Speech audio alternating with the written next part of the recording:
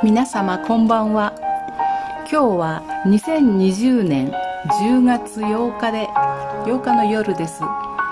ちょうど1年後の今頃シュンチさんとウォン・ウィンツァンさんのダブルピアノファンタジーのコンサートがオーガホールで行われているはずです。シュンチさんの月雨が流れる中で今日はシュンチさんと奥様のリリーさんにインタビューに伺いました。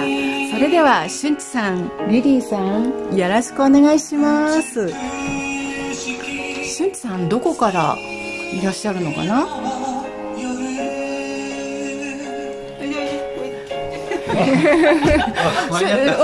しゅんちさんどこから？あれ？もしかしてそこになんかちょっと見えるのはウーバーイーツでしょうか？しゅんちさんなんか慌てて今日今来られましたけどそのウーバーイーツの件ちょっと教えていただけますか、いや今度松本に配達行かないといけないので。松本ですか、えーあのまあ僕はですねあの、はあ、食べ物じゃなくて音楽と夢を運んでます。了解しました、はい、この大きさで入るの？その音楽と夢って 入るだけ詰め込んで運んでます、まあ、あんまり細かいこと突っ込まないでください。今日来たとこなんでこれ。よく見てない。はい。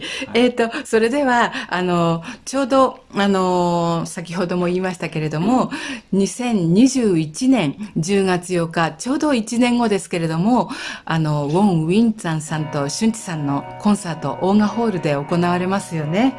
で、あの、いよいよ1年前になりましたけれども、はい、シュンチさん、そのあたりの心境は、今はいかがですか？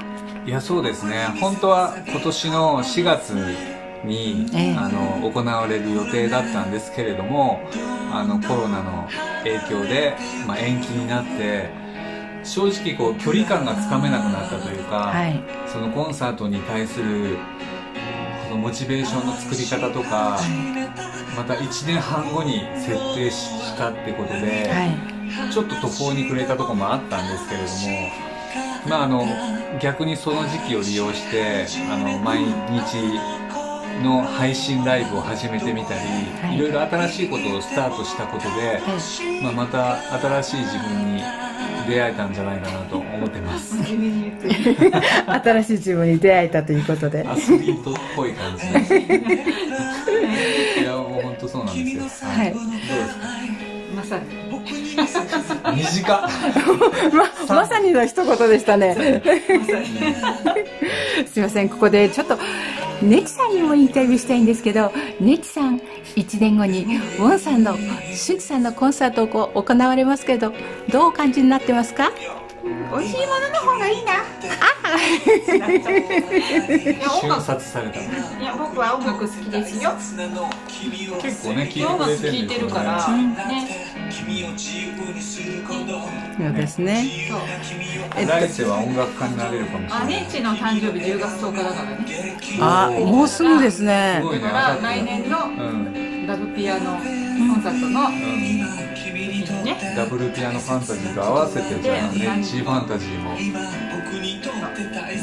もうちょっと誇らしげな感じになってます 本当ね ネチさん今おいくつですか？もうね15歳です。15歳ですか、頑張ろうね。あれ？全然違った。いろいろ違った。はいえっとあの来年のちょうどあの1年後なんですけれどもどんな曲を俊一さんはあの演奏されるような予定でいらっしゃいますか？そうですね。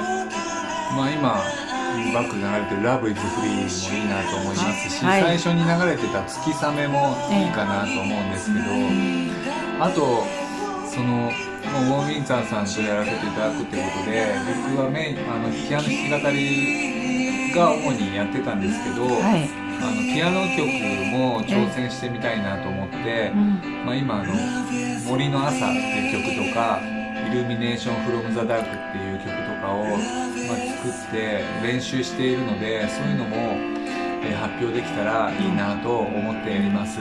楽しみですね。でえー、っとそうですね。あのじゃあお二人にちょっと意気込みなどを聞かせていただいてもいいですか？コンサートに対する意気込みいかがですか？しんちさん、うん、そうですね。あの全身全霊っていうのが僕のファーストコンサートの時のあの掛け声だったんですけどまあそれはもう標準装備で、えー、やりながらそうですねその相手の方が本当に偉大なピアニストの方ですごく今その差があると思うんですけどその溶け込んでそのウォンさんと僕の音ですごい一つのまあやっぱシンフォニーみたいなことができたらいいなと思ってます。そそれができるようにあの自分を高めていきたいなと思います。あそうですか。はい。ゆりえさんは1年後になりましたけどどうでしょう、ね、1年後ね今コロナとかいろんなことが起こってて1年後どういうふうな世の中になってるのかちょっと読めない部分もあるんだけれども本さんと春季のコンサートで、まあ、すごいいい音楽が聴けるのかなってそれがすごい楽しみで私はあのスタッフだけどでなんかみんなにね癒しこう癒しになる空間を作れればいいですよね。いいですね。いいなと思って。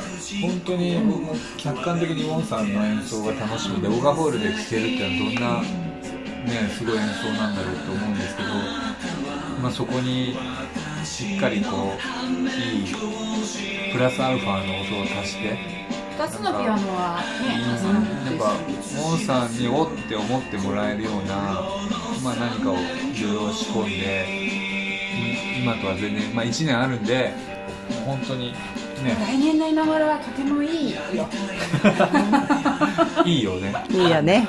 今が一番大変いい予感はしてます、はい。ね、まあこういう設定が、まあね、できたってことに感謝してます。ねちくんの意気込みはどうかな？うん元気だね。大丈夫だね。それはい。それでは俊一さんとリリーさんとねちくんにあのちょうど1年前ですけれども意気込みなどあのお聞きしました。